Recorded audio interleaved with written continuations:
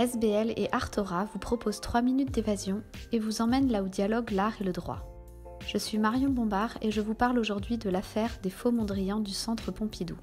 En 1977, une certaine Madame V propose au Centre Pompidou d'acquérir pour 6 millions de francs trois tableaux de Piet Mondrian qui se trouvent dans sa collection personnelle. C'est une magnifique opportunité pour le musée qui vient d'ouvrir d'étoffer ses collections avec des œuvres de ce maître de l'art abstrait.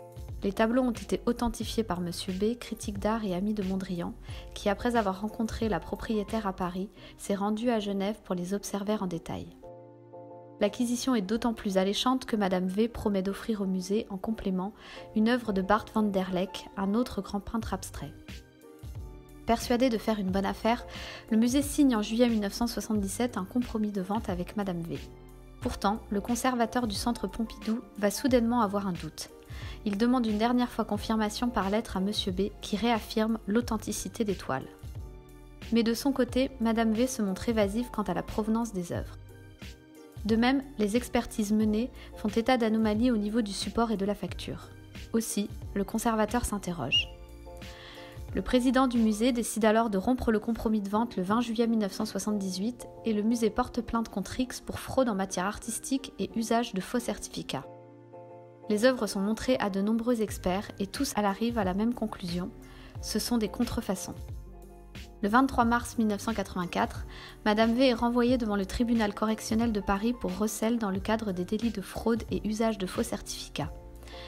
Monsieur B, qui avait authentifié l'étoile de Mondrian, est lui aussi renvoyé devant le tribunal pour son rôle de complice. L'affaire fait beaucoup de bruit. Le baron T, qui avait acheté en 1976 un Mondrian provenant de Madame V, se porte partie civile. Alors que M. B en affirmait là encore l'authenticité, les expertises réalisées après son achat avaient montré que le tableau était faux.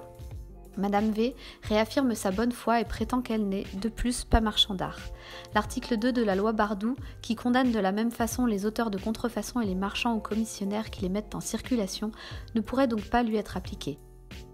C'était oublié bien vite que Madame V vend en réalité des œuvres depuis 1972.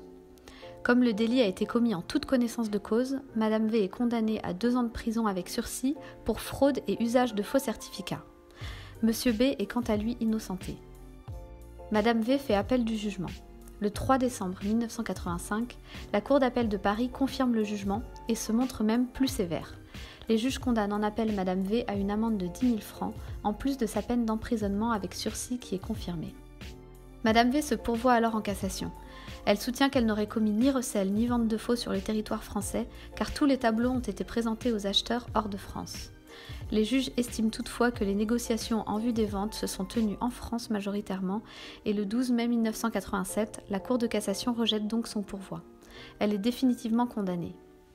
La question de l'authenticité des œuvres achetées par des institutions publiques reste encore aujourd'hui au cœur de l'actualité.